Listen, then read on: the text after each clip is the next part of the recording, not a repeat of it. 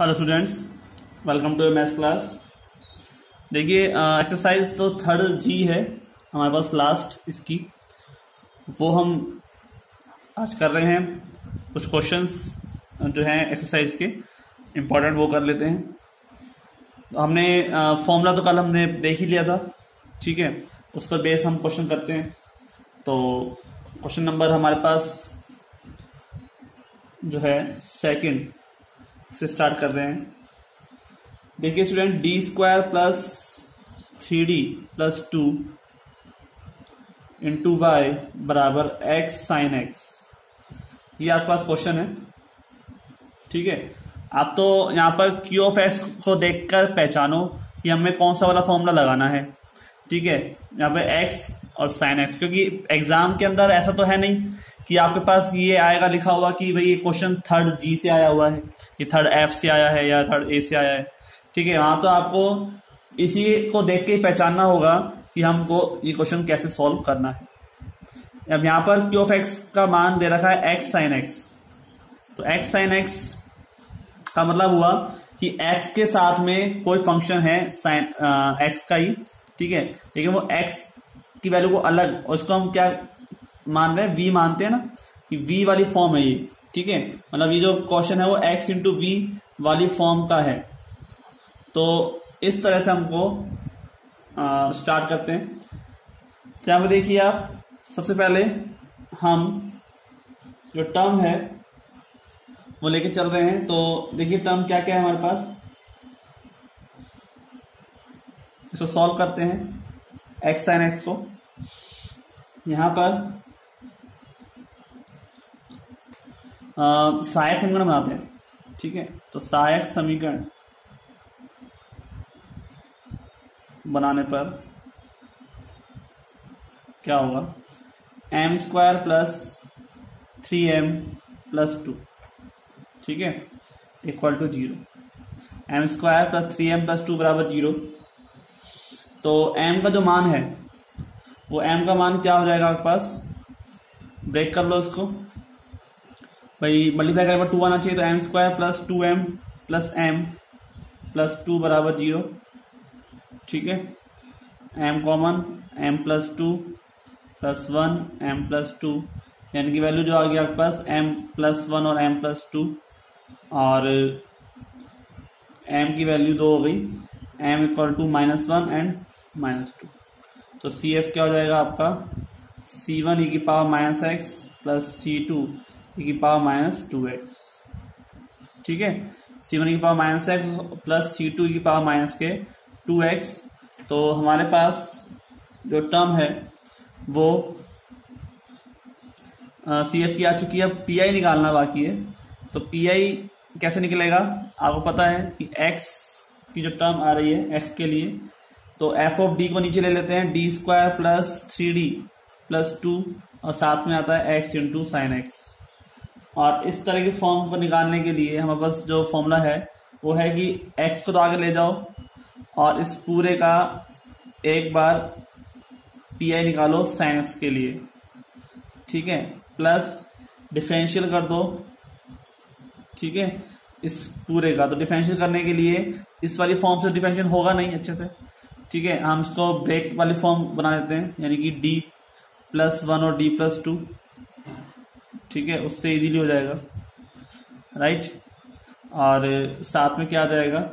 Sine x ठीक है, इसका सॉल्यूशन करना है, हमारे पास पी आई निकल के आ जाएगा। तो देखिए ध्यान से साइंस का करना है तो डी स्क्वायर जगह पर क्या रखा जाएगा? माइनस के वन ठीक है? तो एक्स ऐसे कैसे? डी स्क्वायर की जगह पर minus one plus three D plus two ठीक है? यही फॉर्म है। और साइन एक्स आगे चल ही रहा है।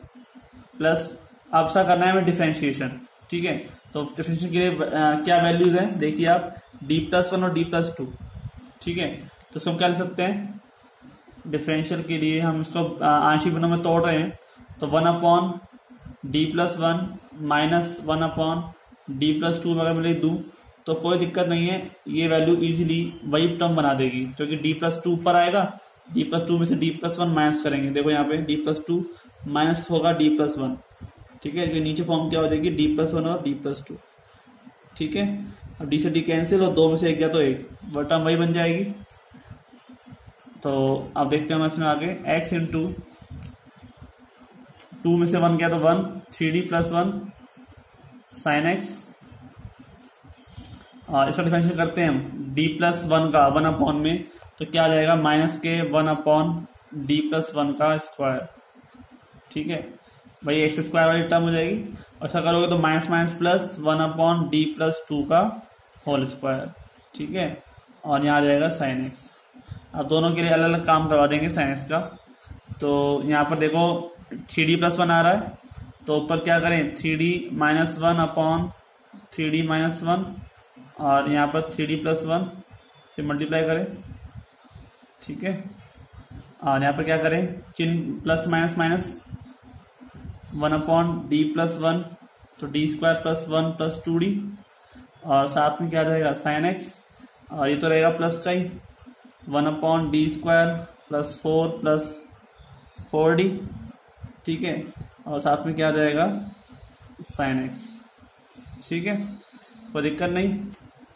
तो आप देखिए यहाँ पर ऊपर तो रहेगा थ्री डी माइनस वन ठीक है, और नीचे क्या रह जाएगा दोनों का मल्टीप्लाई यानी कि थ्री डी का square whole square minus one का स्क्वायर ठीक है, और साथ में क्या रहेगा? साइन एक्स ठीक है? और यहाँ पर साइन एक्स में भी क्या करोगे आप? डी स्क्वायर जगह पर माइनस वन और ये जाएगा प्लस वन ठीक है? प्लस में हो जाएगा यहाँ पे टू डी ठीक है? और यहाँ आ जाएगा आपका साइन एक्स और ये हो जाएगा डी स्क्वायर जगह पर minus one plus four plus four D ये हो जाएगा साइन एक्स ठीक है? कोई दिक्कत नहीं? तो three D minus one nine nine D square. Nine D square minus one यानी कि नाइन इंटू माइनस वन और माइनस वन। और ये हो जाएगा आपके पास वन से one cancel, one upon two D. One upon two D into sine X और ये हो जाएगा आपके पास three plus four D into sine X ठीक है?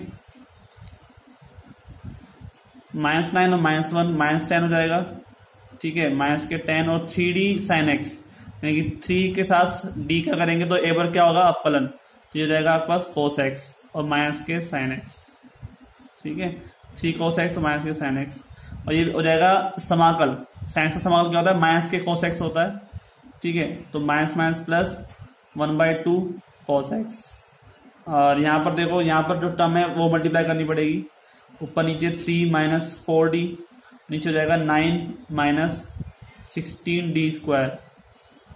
ठीक है? तो ये टर्म तो ऐसे ऐसे हो जाएगी माइनस के X upon ten three cos X minus के साइन एक्स और plus one by two cos X और यहाँ पर आ, नीचे हो जाएगा डी स्क्वायर जाएगा माइनस वन तो माइनस माइनस सोलह नौ पच्चीस हो जाएँगे ट्वेंटी फाइव और यहाँ पर थ्री साइन एक्स और माइनस के फोर कोस एक्स क्योंकि ये आपको मिल जाएगा। ठीक है? तो ये पूरा आपका क्या हो जाएगा? पी आई राइट पूरा क्या हो गया आपका? पी आई फॉर्म समझ में आ गई आपको? ठीक है? और वाई का मान निकालना है तो क्या हो जाएगा भाई? C F plus P I कर देंगे। कोई दिक्कत नहीं। ठीक है? C F plus P I हम इस पर कर देंगे, और हमारे पास टर्म जो है, वो क्लियर हो जाएगी। सी एफ़ पीछे दे रखा है हमको। हमने निकाला था और पी आई ये रहा। ठीक है, समझ में आया होगा आपको ये क्वेश्चन कोई दिक्कत तो नहीं है। और क्वेश्चन देखते हैं हम इसमें। क्वेश्चन जो है हमारे पास इसी एक्सरसाइज का। और सेवेंथ एट्थ क्वेश्चन देख लेते हैं। वो इंपॉर्टेंट है। ठीक है।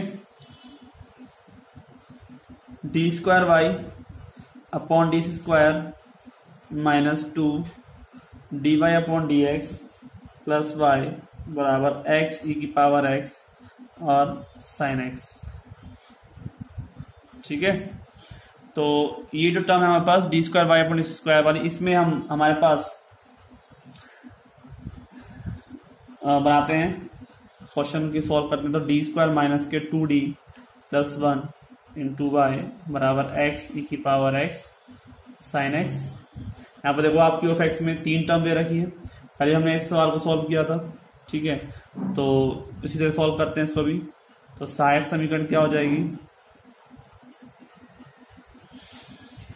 एम स्क्वायर माइनस के two M plus one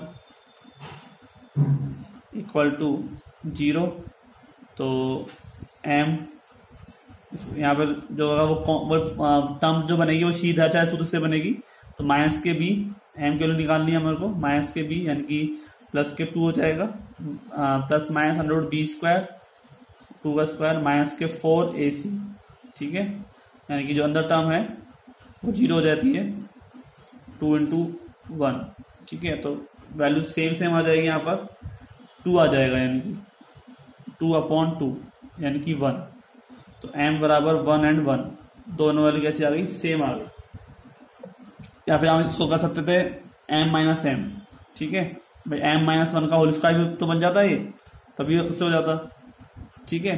या फिर इसको हम एम माइनस वन का होल स्क्वायर बराबर ज़ीरो तो एम बराबर क्या हो जाता? है वन एंड वन उससे भी हम सॉल्व कर सकते हैं, ठीक है? कोई दिक्कत नहीं। तो सी एफ़ क्या निकल के आ जाएगा हमारे पास? C one plus C two X और ई e की पावर एक्स ठीक है?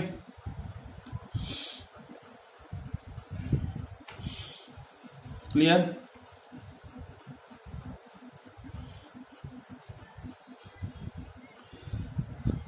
अब पी आई निकाल लेते हैं। तो पी आई निकालने के लिए one upon D square minus के टू डी प्लस वन और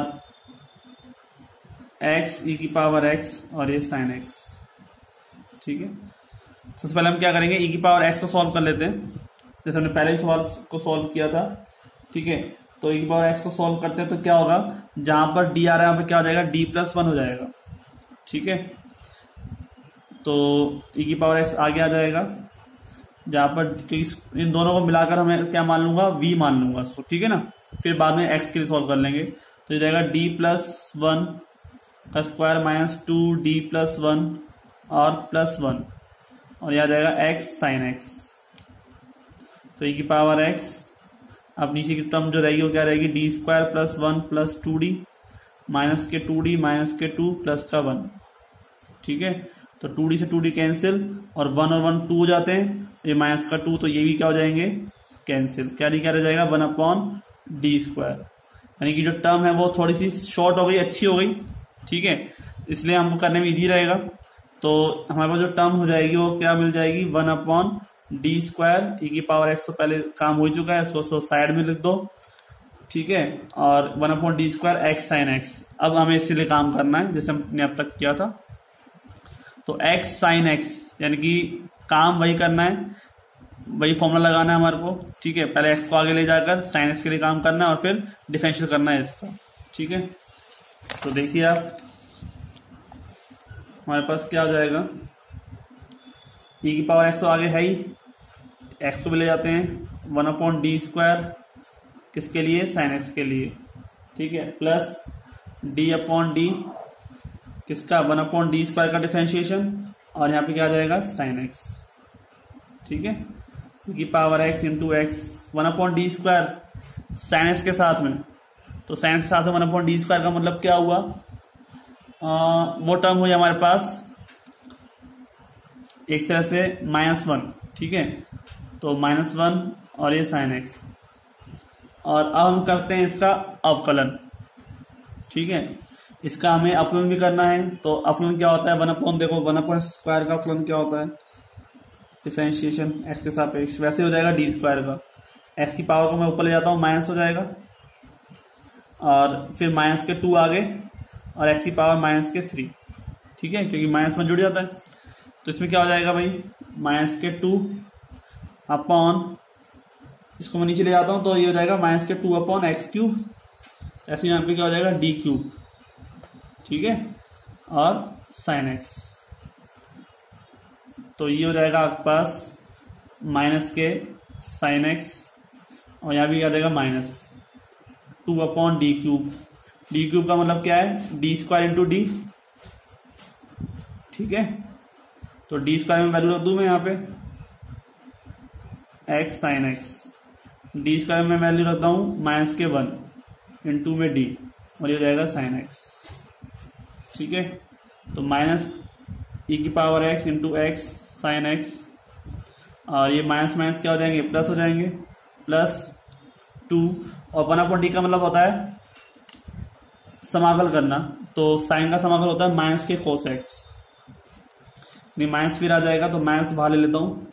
और यहाँ हो जाएगा एक्स ई की पावर एक्स साइन एक्स और ये हो जाएगा प्लस टू कॉस एक्स ठीक है?